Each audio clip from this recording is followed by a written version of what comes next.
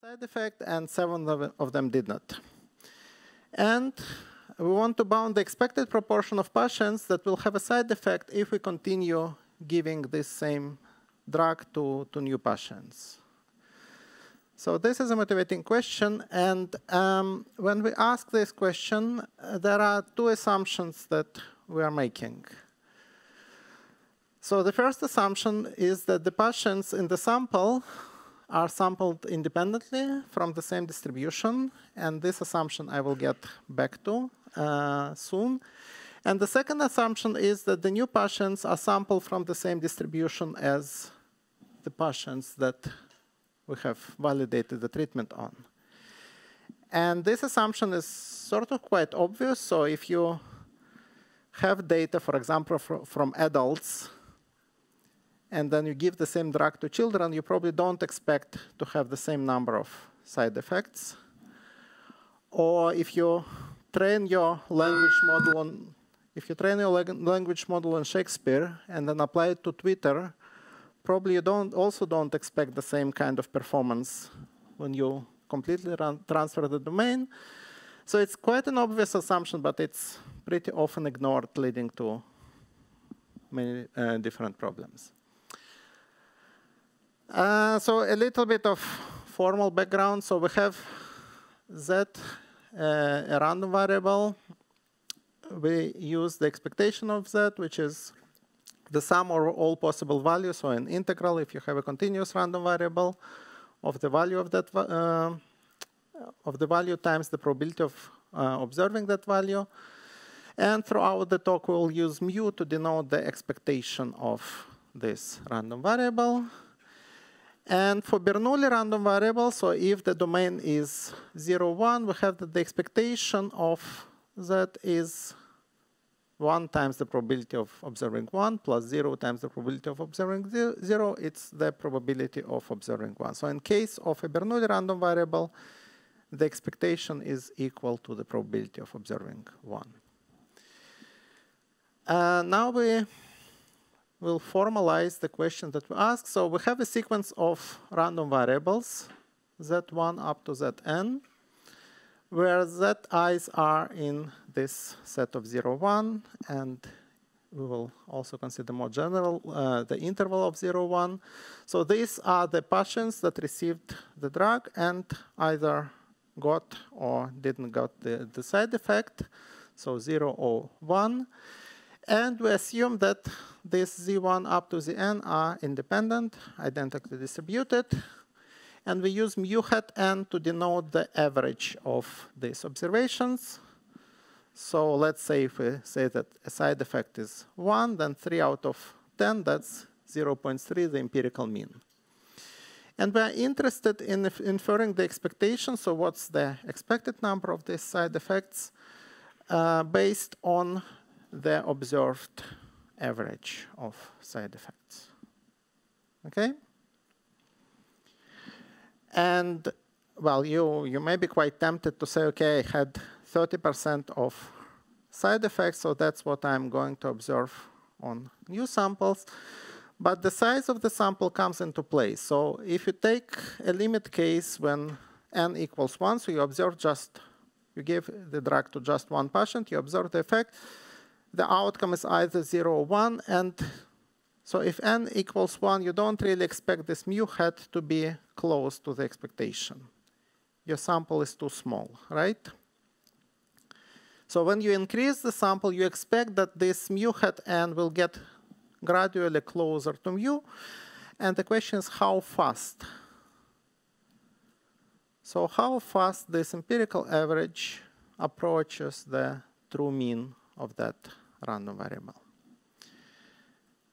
If anyone has any questions, raise your hand and ask the question. Okay. Um, now, I don't know what exactly background. Yes. Yes.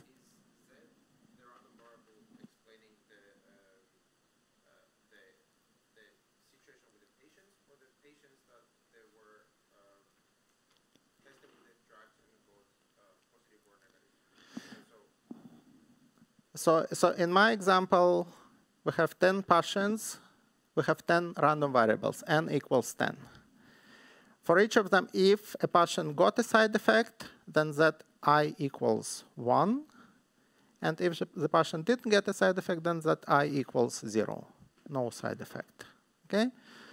And you want to know what's the expected number of side effects that you will have if you continue giving this drug to new patients. Okay? Good.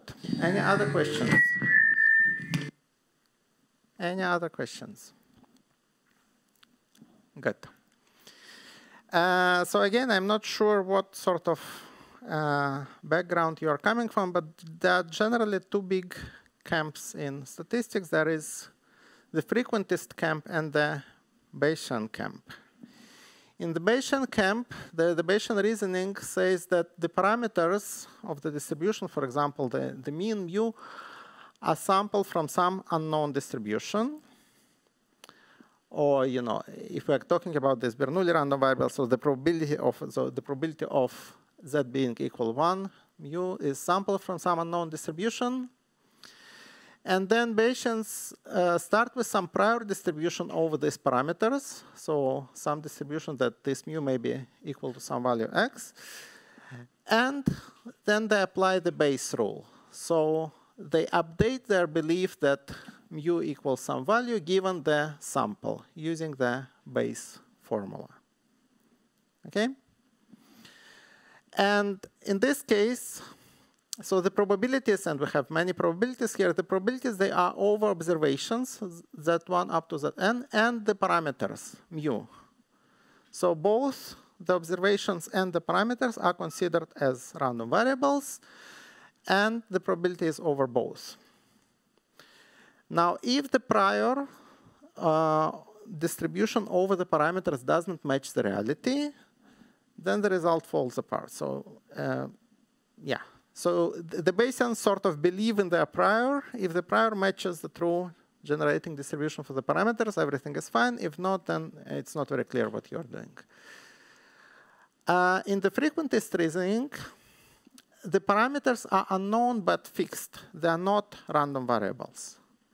So there is some probability of having a side effect, but it's not sampled from some distribution or anything. It, it's fixed but unknown. And the frequentists, they bound the probability that the observation, this empirical average, deviates strongly from the true value. So what's the probability that it underestimates by more than epsilon, or what's the probability that it overestimates by more than epsilon, or what's the probability that it deviates in either direction by more than epsilon. Okay?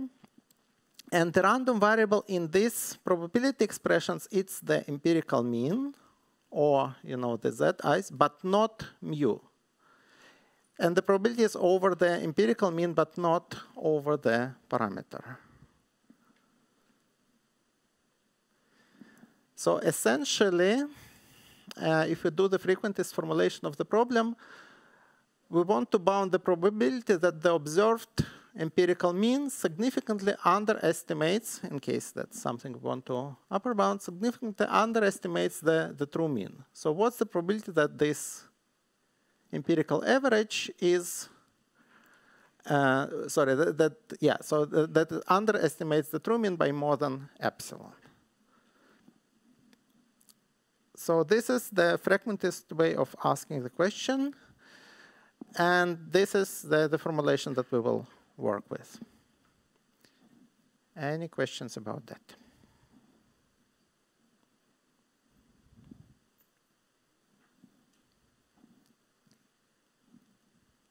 Good.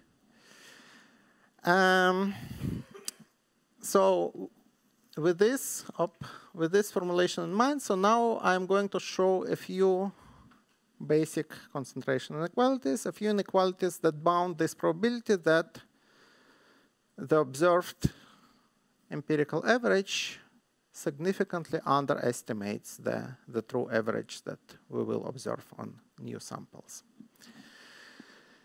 And uh,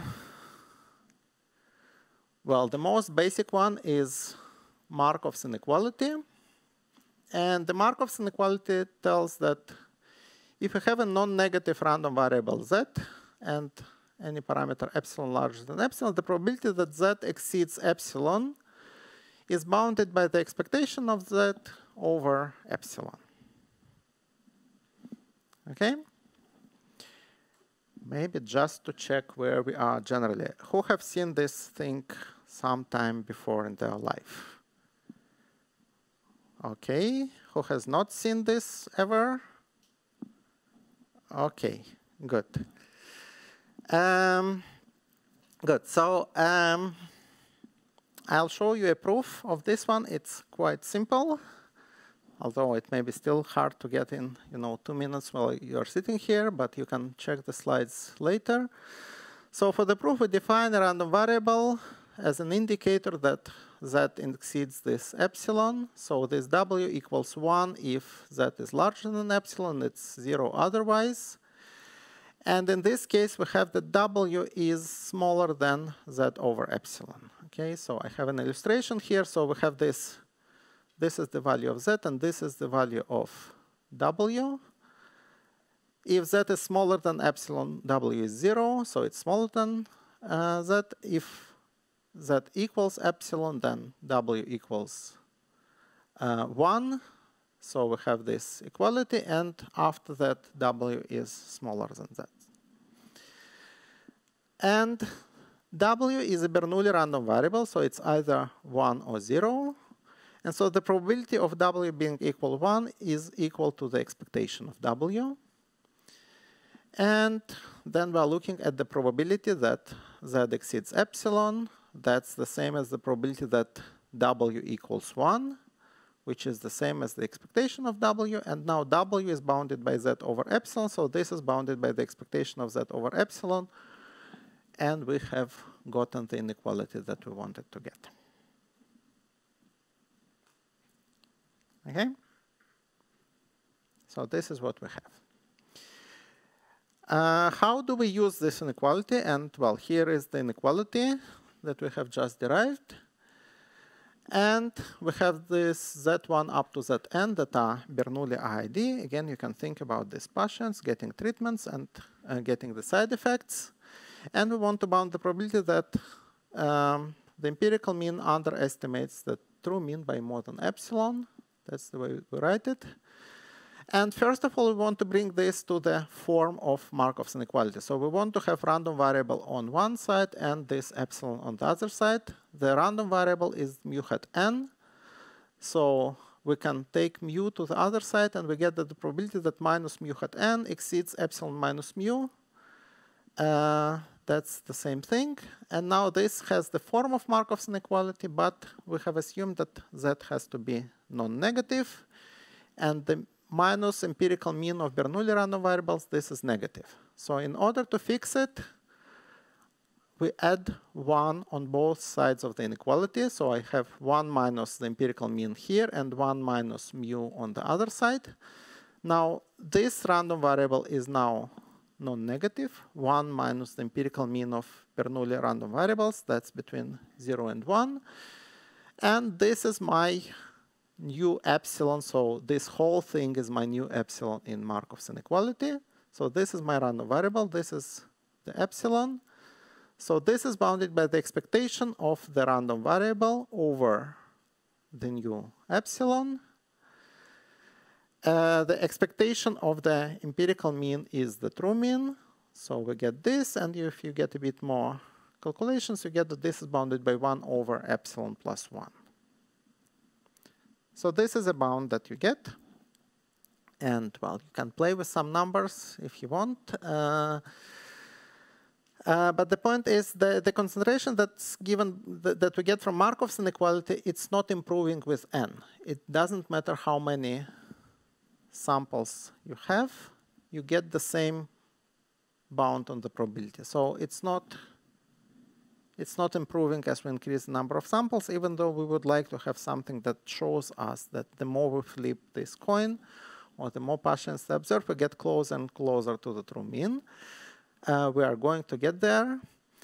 Uh, another point to put attention to, so we used an upper bound on z in the derivation in this step. So we used the fact that z is upper bounded by 1 in order to bring this uh, random variable under control. And we did not use independence in this derivation. So this derivation holds even actually even if the random variables are uh, dependent. But again, it's not growing with n. And yeah, we'll also get to this point a bit later. Any questions? Yes.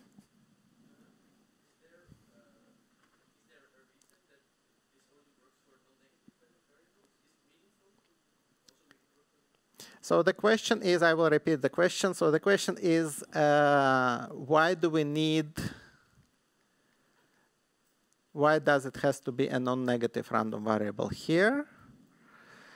Uh, well, if you check that, so if it would go negative, this inequality is going to break down. And the, the whole proof breaks down, so it doesn't work if it's negative. Hmm? Uh, you can flip, so, so you can prove it, so the probability that minus z is smaller than minus epsilon, uh, that side it works. But, but uh, yeah, that, that's all you can do with this inequality. Any other questions?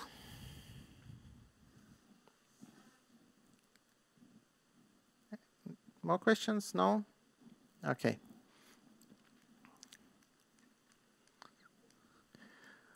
Okay, uh, moving next step.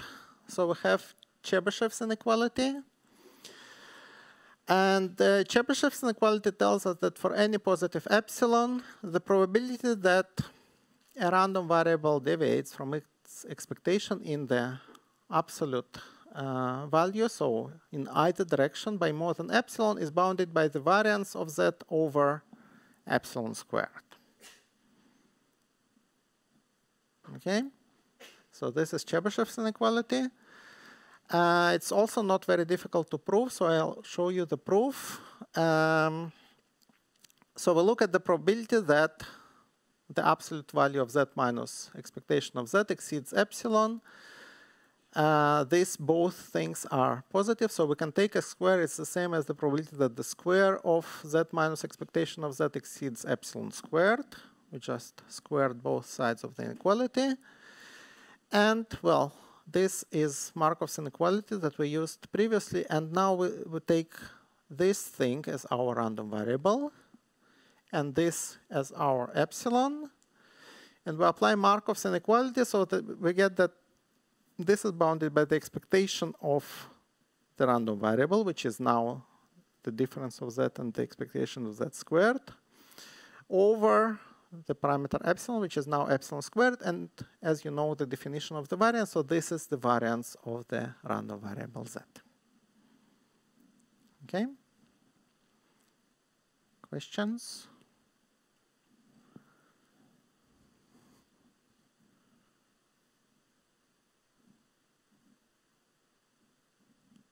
Good. How do we use this inequality? Uh, so again, we have a sequence of ID random variables. And we will look, now we can look even at the absolute deviation. So we look at the probability that the empirical mean deviates from the true one by more than epsilon. And we have Chebyshev's inequality. So this is bounded by the variance of um, of the random variable, the variance of the empirical mean over epsilon squared, and I'm expanding what is this empirical mean? Well, that's the average of the random variables. Okay? Uh, so this is direct application of Chebyshev's inequality.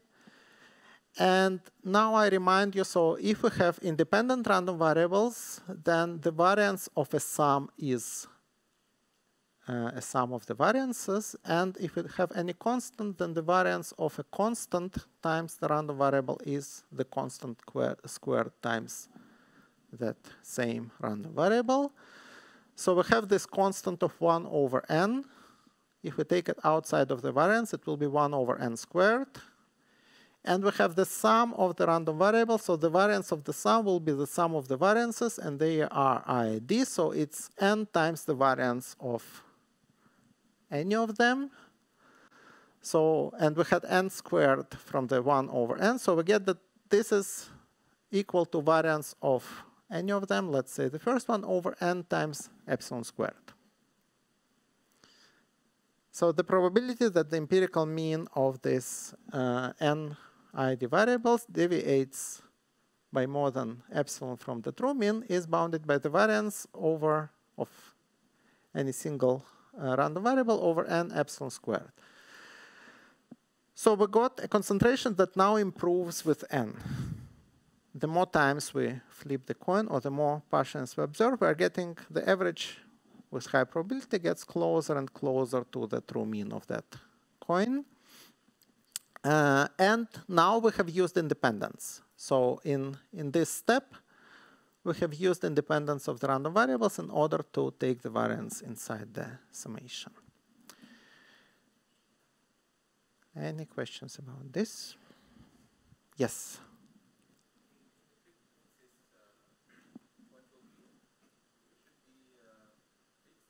Yes. Yes, so mu is fixed and mu bar n, this is the random variable. And the question is, again, we, we observe this empirical mean. We have observed that 3 out of 10, um, 3 out of 10 uh, patients got a side effect. And the question is, what's the probability that this observation deviates significantly from the true mean from the true expectation of having a side effect. But in Chebyshev uh, inequality, Z is mu is equivalent to Z when we want to apply it, and mu is not a random variable, no? Mm -hmm. So in Chebyshev's inequality, so Z is the same as mu hat n. It's in the absolute value, so we can swap them. That's the same. So the expect so mu is the expectation of mu hat n in expectation, the average is the true mean, but it has some deviations. Okay. If you look at expectation of mu hat n, it's mu. So mu is the expectation of z, and mu hat n, it's the z hmm, okay, in okay. Chebyshev's inequality. Okay, thank you. Okay? Yes?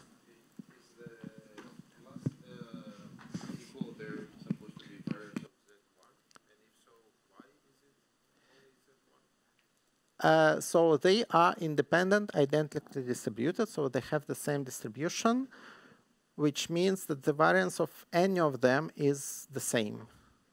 So you can put that n here, if, uh, so you can put any index here, okay? Uh, good? Yeah. Any other questions?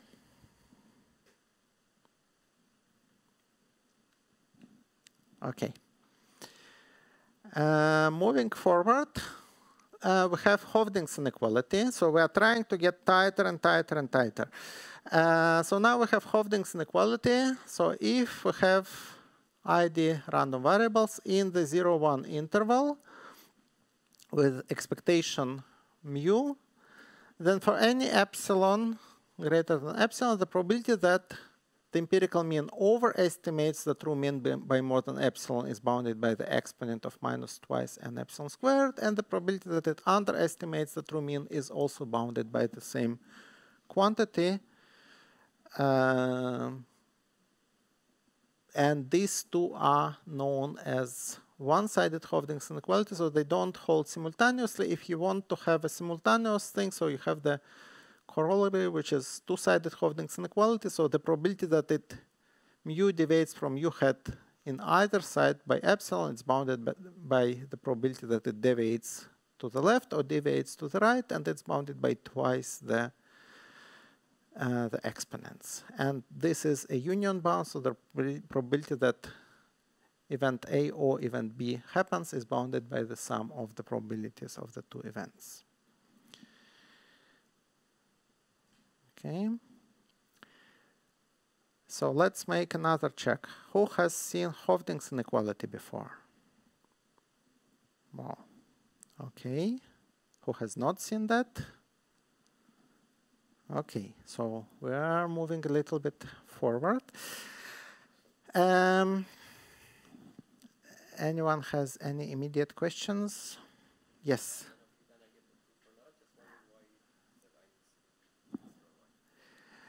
Um, the so what? Yeah, yeah, yeah, yeah. So, I mean, you can generalize it to any bounded random variable. So you need boundedness and then the scale, so the, the range of the random variable will show up in the inequality. I am doing it for 0, 1 to, to make it a little bit simpler, but yeah, you can have the range in there. Um, any, any other questions? So anything that we do for random variables bounded in the 0, 1 interval can obviously be extended to any bounded random variable by just rescaling it to the 0, 1 interval, doing the bound, and then rescaling back. Uh, and, well, what we got that by Hoeffding's inequality, the empirical mean convergence converges to the true mean exponentially fast in n. Okay? So the probability that it deviates by more than epsilon decreases exponentially fast as the number of samples n grows. So that's quite a powerful thing. Uh, but sort of before, so I, I'm also going to show a proof, but before I go for the proof, let's understand the bound a little bit. So what does it tell us and how we work with it? So this is the bound, so the probability that the true mean underestimates the sorry, the, the, empirical mean underestimates the true mean by more than epsilon is bounded by this exponent, and we denote the right-hand side by delta. So this is the probability that uh, this is a bound on the probability that the empirical mean runs too far to the left of the true mean. Uh, if I solve this uh, so exponent of minus twice n epsilon squared equals delta, then I get that epsilon is equal to the square root of logarithm of 1 over delta over n. So it's just take this equality and you get this epsilon. If you want two-sided, then you will have 2 over delta instead of 1 over delta. Um, so rewriting, so substituting this epsilon into the equation, we get the, the probability that the empirical mean underestimates the true mean by more than square root of log of 1 over delta over 2n is bounded by delta. Uh, so this is another way of uh, looking at this inequality. And um, so the probability that it underestimates uh, by more than the square root of log of 1 over n log of 1 over delta over 2n uh, is smaller than delta. So if I take the negation of this inequality, then the probability that the mu hat of n is close to the true mean by, doesn't exceed this true mean by more than the square root is at least 1 minus delta. So with probability at least 1 minus delta, mu hat n is within the square root of the true mean, and this square root is known as precision.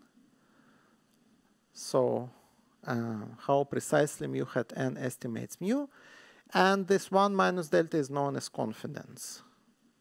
So how confident we are that the true mean is within the square root of, sorry, the empirical mean is within the square root of the, of the true mean. And again, you can also put a, an absolute value here by replacing 1 over delta by 2 over delta. So here is an illustration. We have the true mean. We have the number of samples n. And as the number of samples grows, the, the empirical mean with high probability stays within this uh, range from the, from the true mean where the range decreases at the rate of square root of log of 1 over delta over 2n.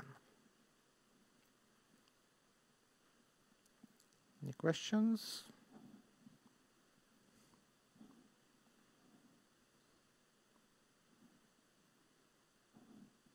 Okay. And there is a trade-off, so we can take um, we can take a smaller delta and then the interval gets larger. So if you want, if you want high confidence, if you want uh, high uh, 1 minus delta, you have to compromise on precision and the other way around. So if you want high precision, then you have to compromise on confidence. There is interplay between these two things that depends on how many samples you have. And if you take two extreme cases, so if you take delta equals zero, so you want confidence of one, then you can't control the uh, the empirical mean. So all you can say that the empirical mean is within infinity from the true mean. And if you take, if you want zero confidence, uh, so if you don't require any confidence, then you can say that the empirical mean is at least the true mean. Um, this also is jump, going a little bit aside from the online reinforcement learning, but this inequality gives rise to this so known as pro probably approximately correct learning framework, which is the um, theoretical learning framework more in the offline learning. So, and why is it the pro probably approximately correct? So with high probability, with probability 1 minus delta, the empirical mean is approximately equal to the to the true mean. So this is the probably approximately correct learning framework. And again, to remind you, the, the probability here is over mu hat n, which is the random variable, and not over mu, which is a deterministic quantity. So even though these inequalities are often written in a form of bounding mu in terms of mu hat n, the random variable is mu hat n, and it's the probability that the empirical observation deviates from the true value. Questions?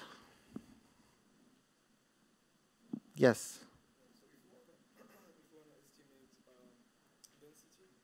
Mm -hmm.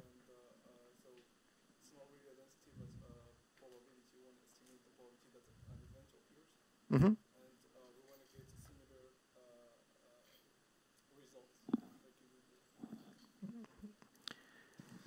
So we, we want to get a similar results like this, but for uh, um, some probability.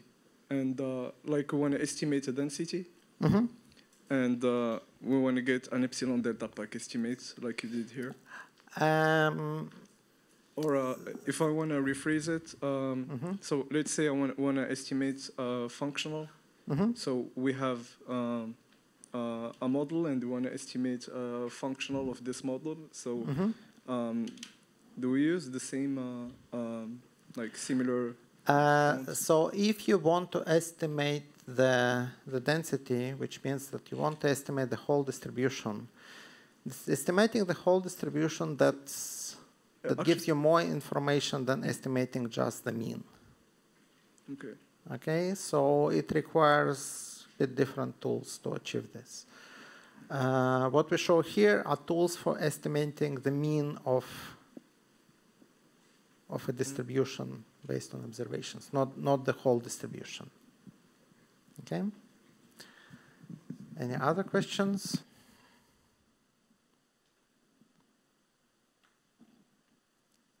Good. Uh, and well, there are different ways of using this bound. So again, to remind you, we have this delta, which is confidence, and it's equal to e minus 2n epsilon squared. This is what we just did here. Uh, if we solve this equation, we have the precision expressed in terms of confidence and the, size, uh, the number of samples, and we have n, which we can also express in this equation based on delta and based on epsilon. So we can fix any two parameters out of the three. The three parameters are epsilon, delta, and n, precision, uh, confidence, and sample size, and the inequality gives us the value of the third parameter. So how can we see it? So let's say that we fix n and epsilon, and then we get delta. What's the question that we are answering? So what is the probability that mu hat n underestimates mu by more than epsilon, given that we have n samples? So n and epsilon are fixed, and then the inequality gives us a bound on the probability.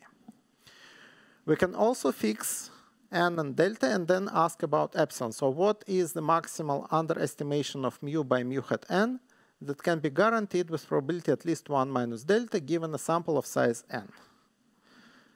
So again, you have a fixed sample, and then someone tells you, give me a guarantee that will hold with 95%, that the sample is not deviating too strongly. So how good guarantee you can get?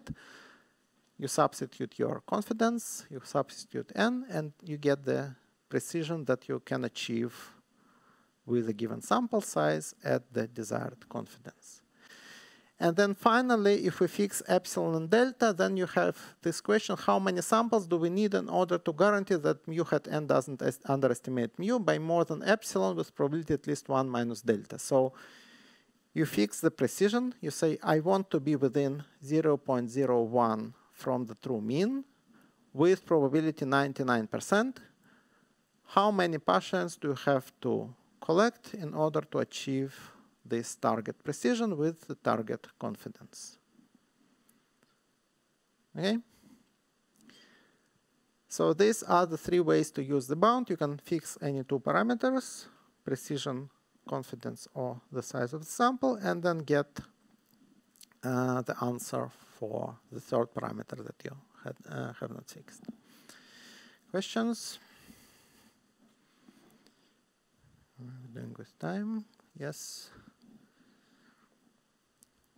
No questions? Um, okay, uh, let's um, let's show a proof of this inequality, and then I will give you a short break, and then we will continue. Okay. Uh, so this is the inequality. Um, and in order to prove the inequality, we have Hoeffding's lemma, which I will not go, uh, I will not prove, but the Hoeffding lemma says that if we have a random variable in the 0, 1 interval and the parameter lambda that's positive, the ex expectation of the exponent is bounded by the exponent of lambda square over 8. Now, the proof is the proof is a bit long. It's not that I expect that within whatever two minutes you can follow the proof, but I just want to show you a, a couple of key points in the proof. Uh, yeah. So, uh, a proof of Hoeffding's inequality. So, uh, so this is the inequality. Uh, well, I've taken the deviation on the other side. Uh, this is the inequality that we want to prove. We can multiply both sides by n. This gives us uh, this expression. And now the first thing that we do, we apply Chernoff's bounding technique. So for any parameter lambda that's larger than epsilon, we have that x is larger than y only if exponent of lambda x is larger than exponent of lambda y. So I'm taking both sides of the expression to the, to the exponent and with the parameter lambda. And again, this holds if and only if this holds, so this doesn't change the probability. Now I can apply Markov's inequality and this thing is my random variable, so I'm looking at the expectation of the left-hand side, and this is my epsilon, so this is the exponent of lambda and epsilon in the denominator. Uh, I just take it as negative exponent, uh, exponent here. And here I have an exponent of a summation. An exponent of a summation is a product of exponents. So I have expectation of the product of exponent of lambda times uh, this thing. So I've separated the summation over the random variables into a product of the random variables. And now comes uh, you know, the critical step where we use independent. So if we have independent random variables, expectation of x, y equals expectation of x, expectation of y. It holds for independent random variables. It does not necessarily hold for random variables that are dependent. Uh, so if I apply this, I can take the product outside of the expectation. So I get the product of the expectation of this thing. And now I can apply Hoeffding's lemma that I had here, one by one, to each of the elements here. And, well, get an exponent depending on lambda. And then I can find lambda that would minimize. So this lambda star equals for epsilon. I can find this lambda. And if I substitute this lambda all the way through, then I get the bound that I wanted to get. Okay? And again, you can sit at home and go through this one more time. But a critical point here is we have used independence in order to prove this inequality. Okay?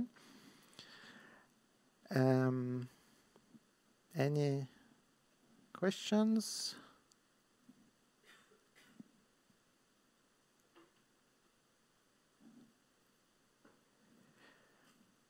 Yeah, there is a question here. Okay, good.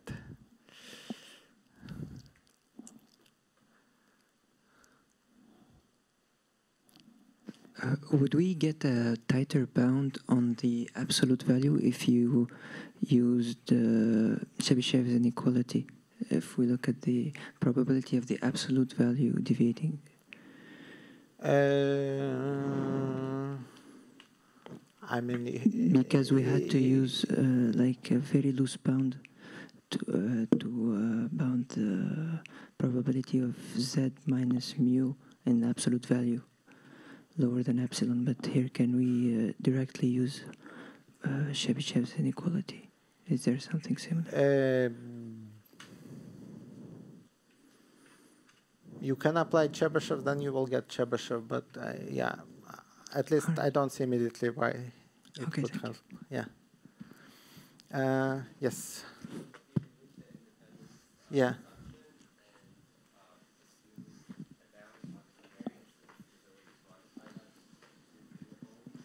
Uh, well, you, you have the you have this property. You have Yeah. to be able to. Um, Yeah, I understand that. uh, I'm wondering if, if uh, you are asking if they are non-correlated, yeah, if they are non-correlated, you will get the same the same thing. Yes.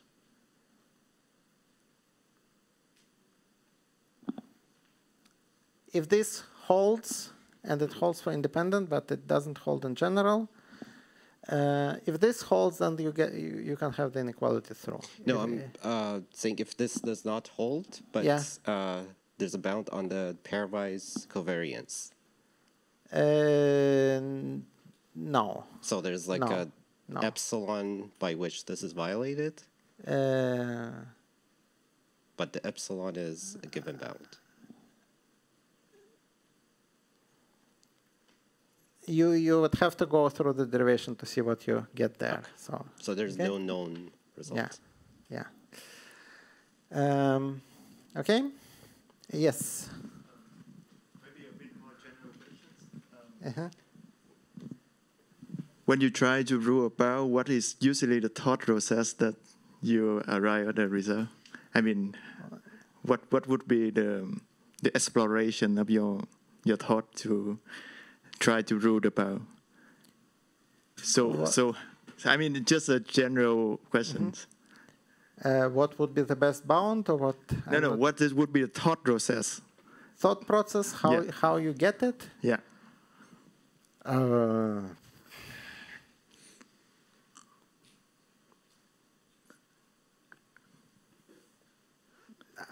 that that's a difficult question. Uh, Yeah, maybe- after you do many of them, you get some intuition of how you can get new ones, but uh, I'm not sure I can formalize. Uh,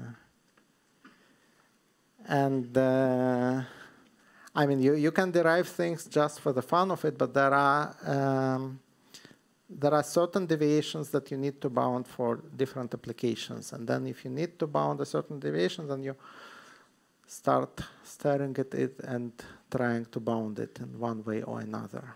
Okay, Okay. then it's based on experience then. Uh, based on experience, based on the needs. So depending what you need to control, then you are trying to, to control that thing, and either you succeed in controlling it, or you can sometimes prove that you cannot control certain things. That also happens. Okay. Yeah. Uh, any other questions? There is one more question down here. Oh, thank you. So if we have a Hoeffding-like inequality for um, a random variable, uh, Mhm. can we uh, deduce um, uh, uh, Ho- inequality for a property of those random variables. So it could be, for example, the entropy or either a univariate property or bivariate property like KL divergence or something like that. So again, this thing, it only gives you the bounds on how the empirical average deviates from the true average. If you want more things, there are different tools for uh, other things, and but you you have to, to to study the you know the problem that you have and the quantity that you have to control, and see how you can control the quantity that you are interested in. Okay. Again, this thing, it's only controlling the deviation of the empirical mean from the true mean. If you want other parameters, well, then you need to look at this other parameter and, and see how they uh, deviate and so on. Okay. Okay? Any other questions?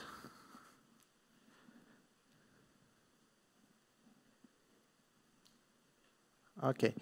Then, uh, yeah, the important point here is that this lambda star is independent of the random variables.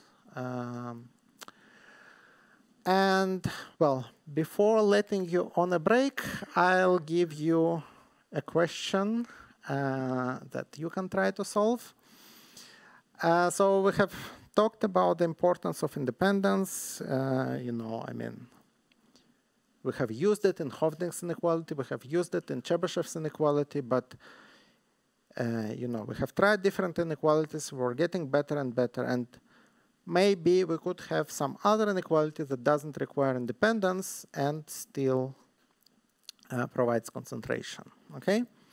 So here is a question. So uh, construct an example of dependent random variables, z1 up to zn, such that these random variables take value 0 or 1. Uh, they have the same expectation, so they all have expectation mu. I didn't put it on the slide, but so they all have expectation mu, but they are dependent. Okay?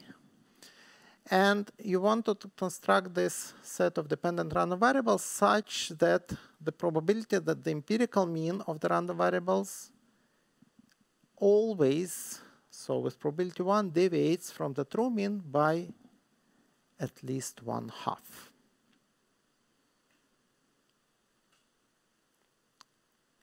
Is the question clear?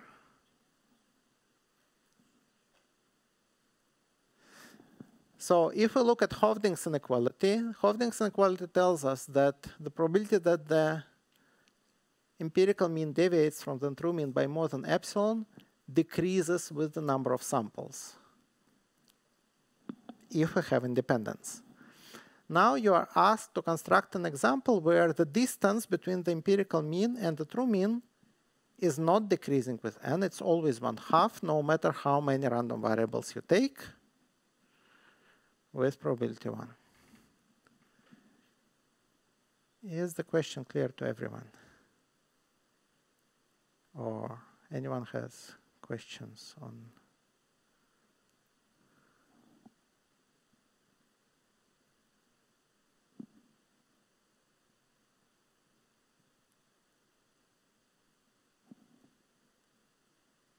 you have no idea what I'm asking for, or you know what I'm asking for, and huh?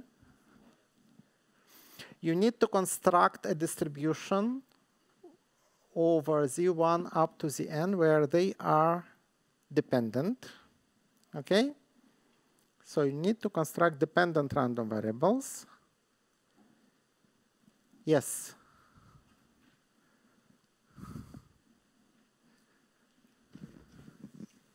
Uh, I'm not yet asking for an answer. Yes. Yeah, I'm not really with this background, but is that some kind of distribution when some some event happens in the one uh, variable, all the other ones become zero or something like that? Like, what would that be, Poisson's or? Uh, You are on the right track, but your construction will not. I mean, if they all, if all others are zero, they will not have mean mu.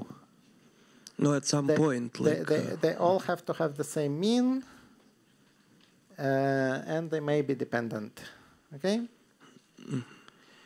Uh, so I suggest I give you all a break of um, eight minutes until half past ten. You can think about this or you can just relax. So half past ten, we, we continue. Okay? So in the interest of time, I'll just tell you an answer to this problem. Uh, so let's say that I take a bunch of coins, I tie them all together, and then I flip them together. Okay? So I have n random variables. They all have the same distribution. They all have the same mean, but they are dependent.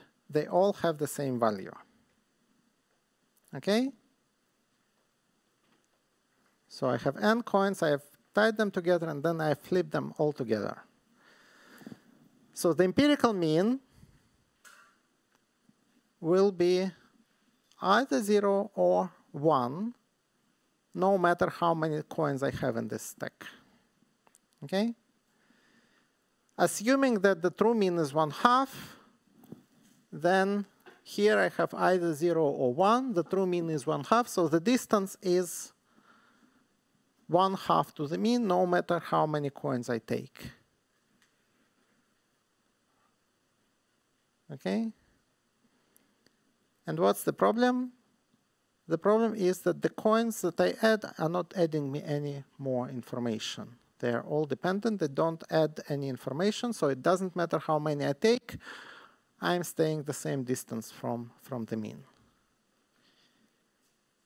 When they are independent, then every flip of a coin gives me a little bit of information about the mean, and if I average over many coins, eventually I'm getting close to the mean. But when they are dependent, they're not providing new information and the average is not going to the mean. So this independence is very crucial in order to get estimation of the mean that will converge eventually with the growing number of samples. Any questions?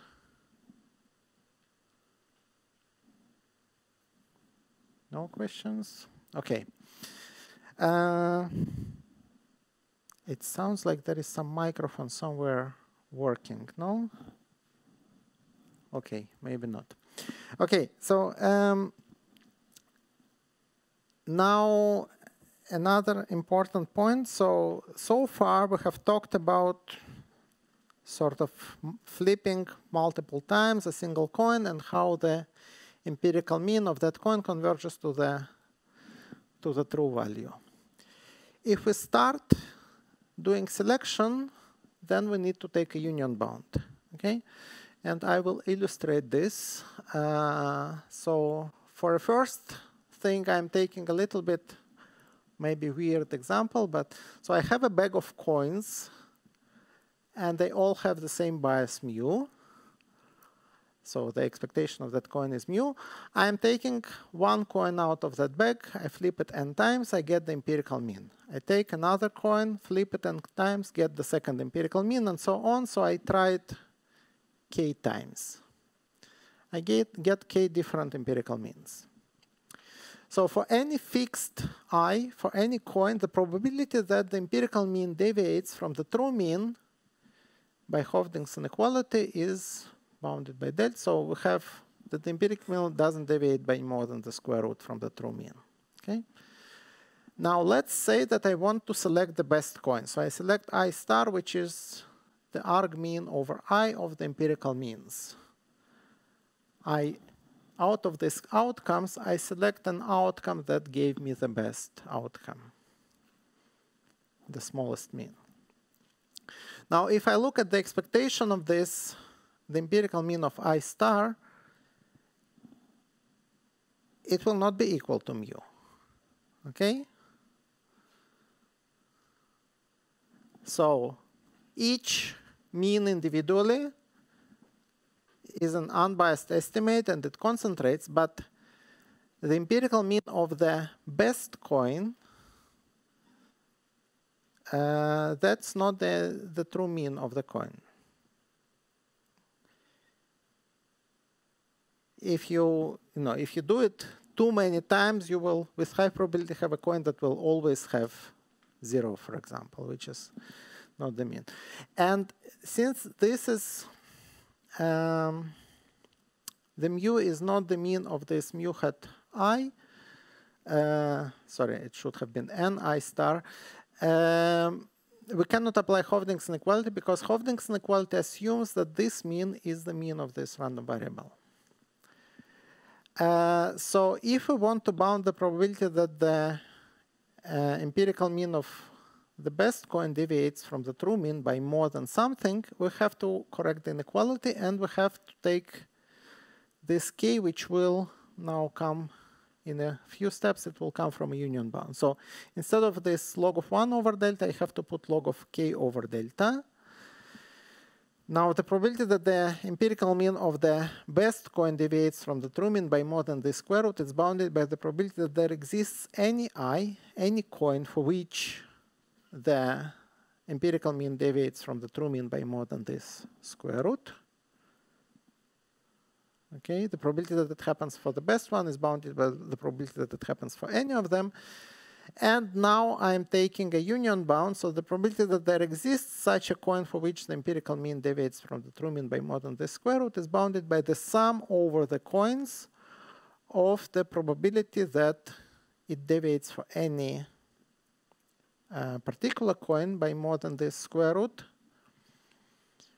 and now to this quantity, I can apply Hoeffding's inequality because uh, I have separated the dependence between coins and the mean. So now I have again these coins individually, and for any fixed one, I have the inequality, but I have the inequality with, with k over delta instead of 1 over delta. So by Hoeffding, I get that this probability is bounded by delta over k, because I have replaced 1 over delta by k over delta, so I have delta over k, and if I sum it, I get delta. So I get that the probability that the mean of the best coin deviates from the true one uh, by more than square root of something that we have k here, which again comes from the union bound, is bounded by delta. So now I am in control of deviations of the best coin from the true mean. Questions?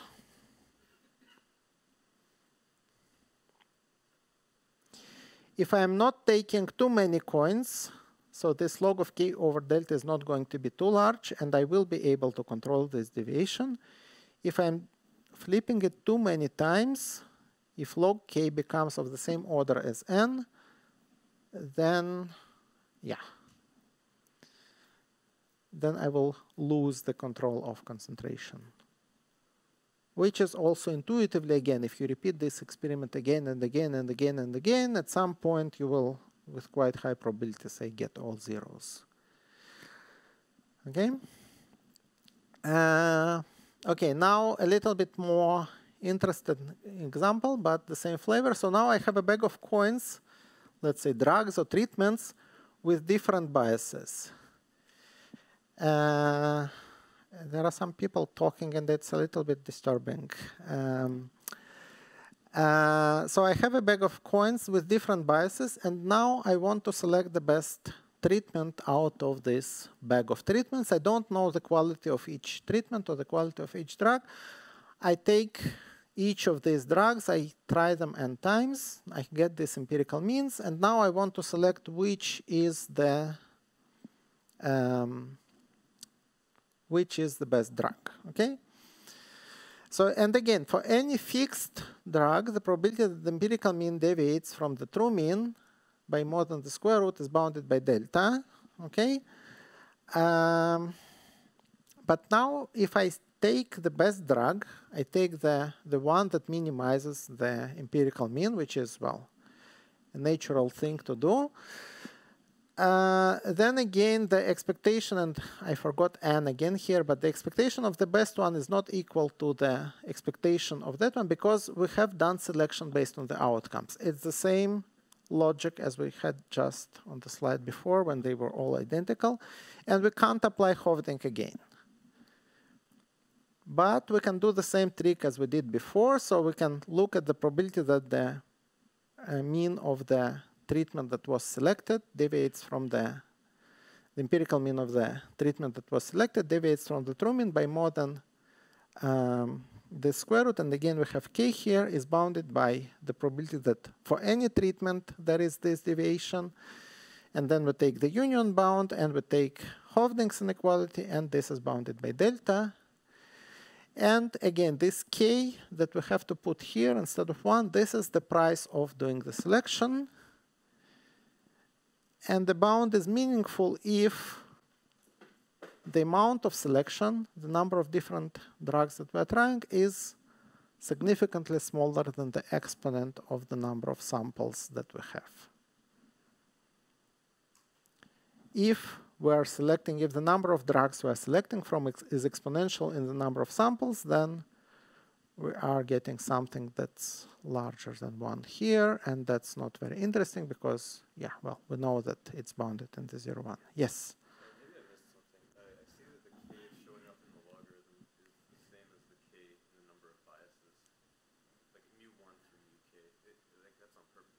Uh, so k is the number of coins that I select.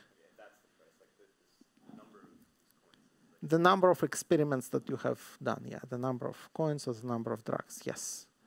And that's, that's the union bound that you have to take. You have to take the union bound over all the selections that you have done.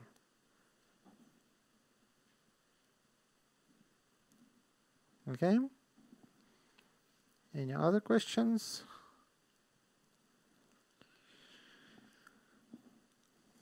Um, good. Uh, so a mid summary of what we have done so far. So we have shown this Hoeffding's inequality that for id random variables in the 0, 1 interval, the probability that the empirical mean underestimates the true mean by more than the square root is bounded by delta. And independence is crucial here. So if there is no independence, things don't work. And if we do selection, if we select from multiple experiments, then we have to take a union bound over this uh, experiments that we did. Okay. Um, good. Uh, I have many slides. I guess I'm not going to do all of them, but yeah, we will see. Uh, so now, uh, well, we have started with Markov's inequality, then Chebyshev, then Hoeffding. It was getting tighter and tighter and tighter. Can we get something that will be even tighter than Hoeffding's inequality? Well, here is one example, the KL inequality. Uh, in order to define the KL inequality, I have to define the Kullback-Leibler divergence or relative entropy, which is a distance measure between probability distributions P and Q. And it's defined in this way. So it's the expectation with respect to z drawn according to p of the logarithm of p of z over q of z. And uh, it has certain properties. So it's the distance between p and p is zero, it's convex, and it's asymmetric. And we define the binary KL function, which is if p and q are biases of Bernoulli random variables, then, well, this is the definition of KL. Uh, now, we're not going to do anything explicitly with the KL, so um, I'm going to simplify it later. So if if you see it for the first time, well, yeah, don't worry. uh, so we're moving uh, to the next slide where I will show simplifications of this KL that will be a bit easier to digest. digest. And we have the KL inequality. So the KL inequality tells us that if we have ID random variables in the 0, 1 interval with mean mu, then for any parameter delta in 0, 1, the probability that the KL between the empirical mean and the true mean exceeds log of 1 over delta over n is bounded by delta. Yes?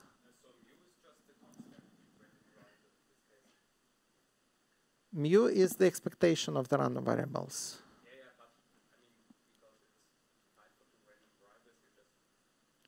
The- interpreted as the constant random in- variable in this case. You mean in the binary Yeah, yeah. KL? Yeah. Yeah, uh, so in the binary KL, again, um, in the binary KL, P and Q are just numbers, biases of Bernoulli random variable. And this is the definition of uh, the binary KL, where P and Q are numbers in 0, 1. Okay? Um, yeah. And again, I mean, if you see it for the first time, it's um, don't worry, I'm going to simplify this on the next slide. So I, I will make it more digestible on the next slide. Uh, so um, yeah, so this is the KL inequality. And again, uh, don't worry if you see this KL for the first time. It's not the most important part uh, here. Uh, because we are going to relax it. So we have we have the KL inequality that the probability that this KL is smaller than log of 1 over delta is larger than 1 minus delta. And we have Pinsker's inequality, which says that the KL is lower bounded by twice the difference between mu and mu hat squared, which means that I can, so I can take a square root of this, I can put it on the left side of the inequality, and I get that as a corollary of this KL inequality, I get that the probability that the distance between the true mean and the empirical mean exceeds the square root is at least 1 minus delta. Okay? And if you recall Hoeffding's inequality, well, it's essentially the same thing up to this 1 or 2. Uh, so the KL inequality is always at least as tight as Hoeffding's inequality. Okay? Well, that's good, but uh, yeah, sort of. Why introducing complicated quantities if we get the same thing as before? Uh, so there is refined Pinsker's inequality that says that uh, for mu that's uh, larger than mu hat, we have another relaxation. And if we do re this relaxation and we do a little bit of calculations, then we get that from this inequality, we, we can also get this inequality. Okay? And this is something, uh, so this also follows from the KL inequality, and this is something, well, relatively easy to digest and uh, more interesting. So what we get here is that, um, so if we look at, say, this inequality, the distance between mu and mu hat decreases at the rate of log of 1 over delta over uh, 2n. Here, if mu hat n is close to 0, or if it's 0, uh, we get that the, the distance here decreases at the rate of 1 over n instead of 1 over square root n. Okay? Uh, so we get what's called fast convergence rates, the rates of 1 over n rather than 1 over square root n. And this may be significantly tighter than Hoeffding if the empirical mean is much smaller than 1 over 8. Okay? So this is another inequality, and instead of, you know, just for any random variable in the 0, 1, we get the same rate of convergence. Here it tells us that if the empirical mean happens to be close to 0, we are even more confident that it's close to the true mean. Okay, so when the empirical mean is close to 0, we have even better bounds on being close to the, to the true mean. So if you have a coin and you flip it 100 times and you get always 0, you are more sure that this empirical mean of 0 is close to the true mean than if you take a coin and you flip it 100 times and you get an average of, of 1 half. So when you have the average of one half, there is quite high deviation to the left and to the right. Sometimes you get zero, sometimes you get one. If everything is constantly zero, you have a higher confidence that the true mean is also zero. Okay?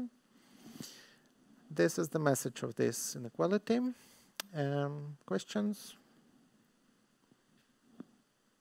Yes. There, up there.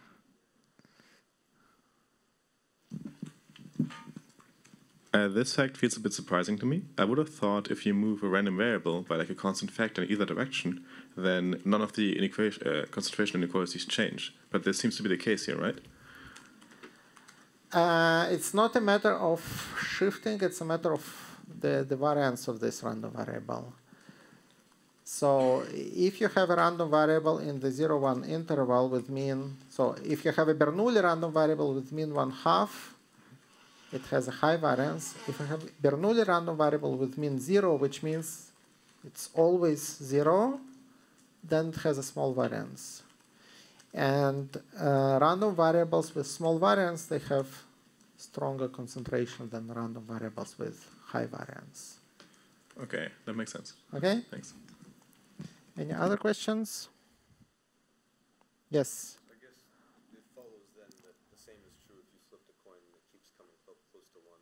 Yes, the same, but yeah, you also have Pinsker's inequality in the other direction. So if it's close to zero or if it's close to one, and we're talking about the zero one interval, we get uh, better convergence. You don't see it from this inequality, but you have it like from the KL with a different derivation. You can also get it if it's close to one. You also get faster convergence.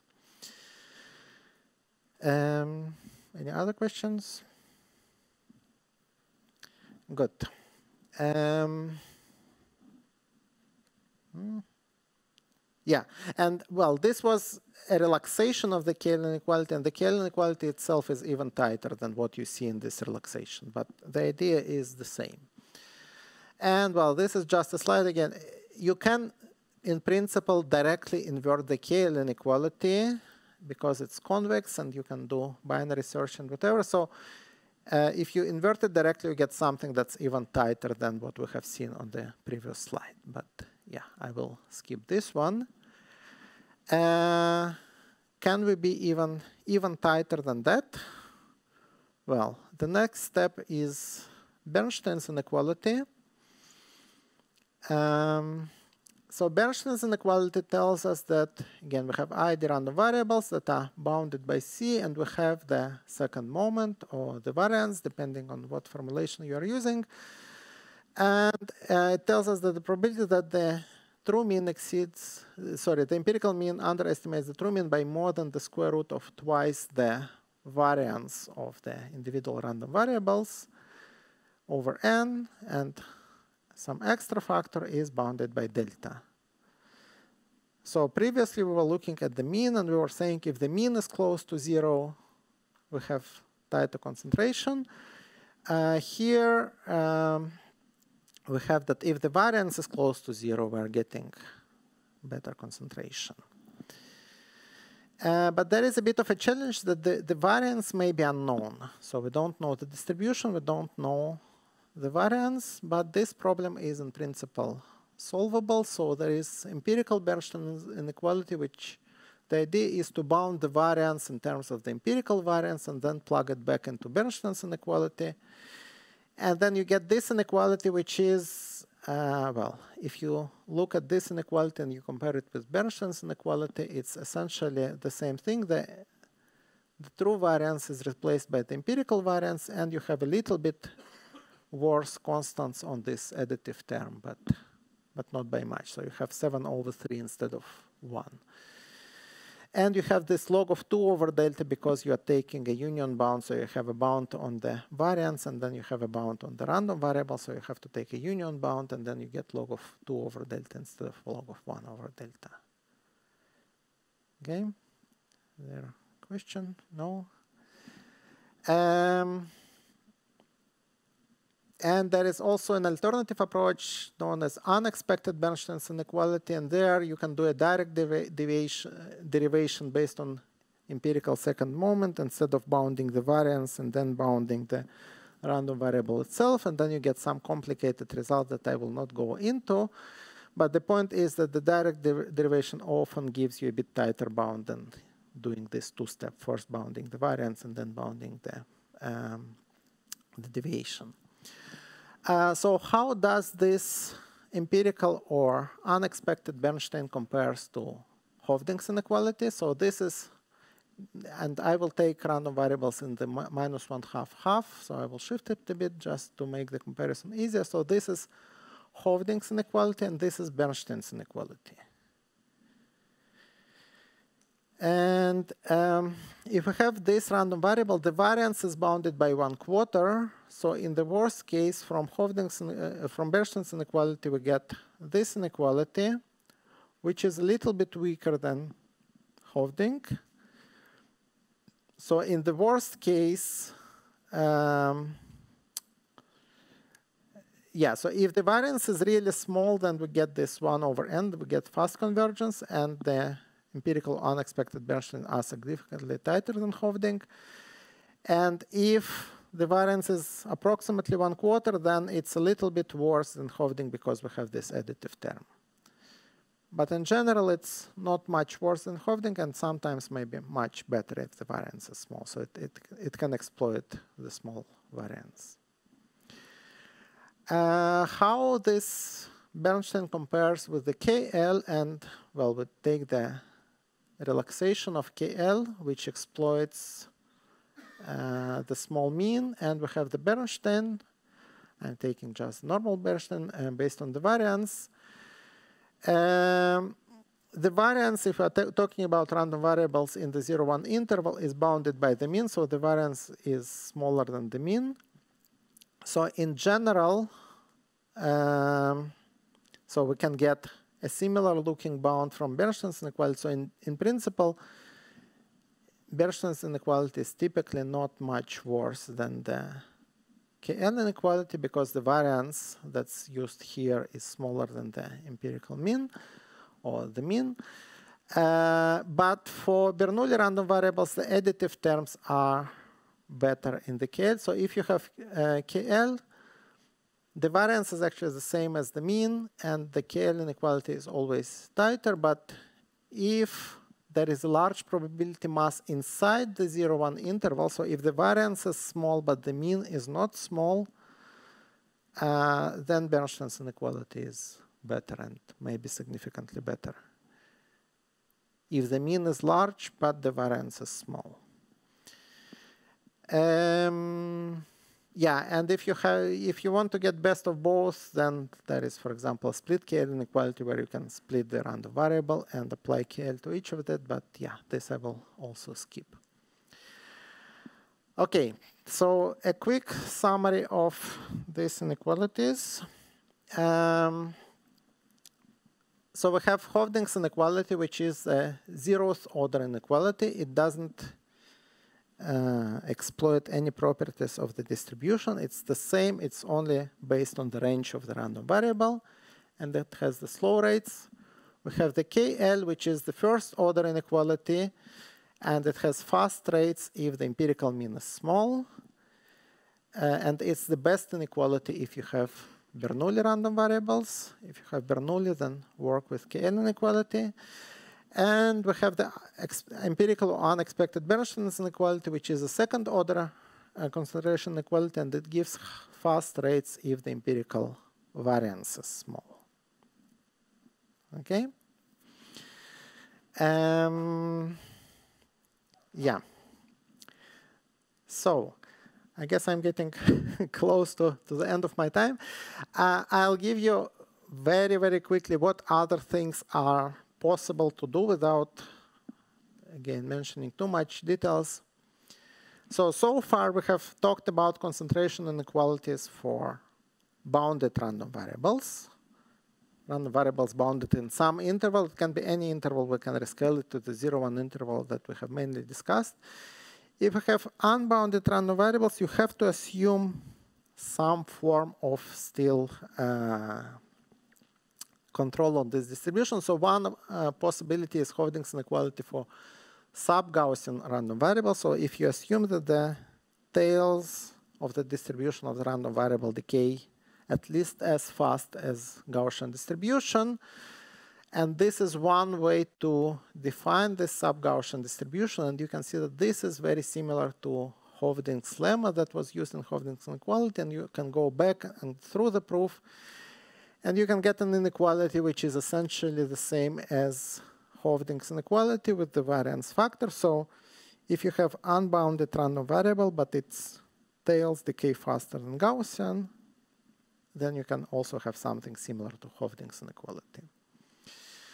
And the last thing, so we have mentioned the importance of independence. Uh, and we have talked independence, independence, independence. If you don't have independence, then everything breaks down. There is one exception where you may have a certain form of dependence and it still works, and it's martingales. Uh, so there is the Hoeffding-Azuma inequality of martingale. So if you have a sequence of random variables where the conditional uh, expectation of a random variable stays the same, then you have the same inequality as Hoeffding's inequality. And most others of the KL inequality, the Bernstein's inequality, you can generalize to martingales.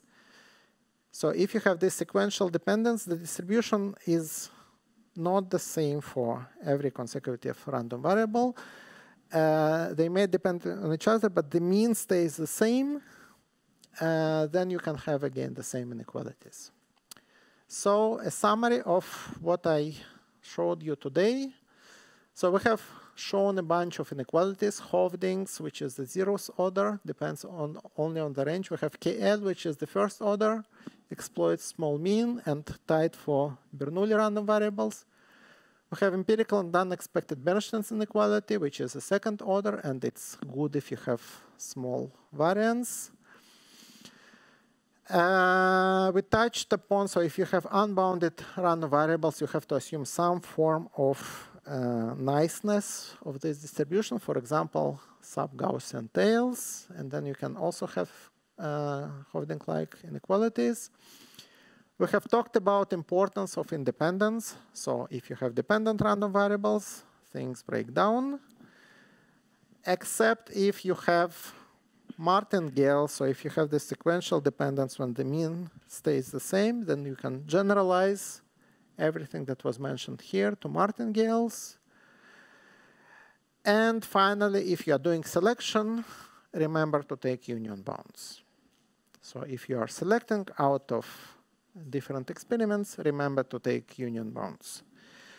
And if you, if you want to read more, I have another slide with a bunch of references. And, well, I guess my material will be uploaded, so you will see the references and you can read more there.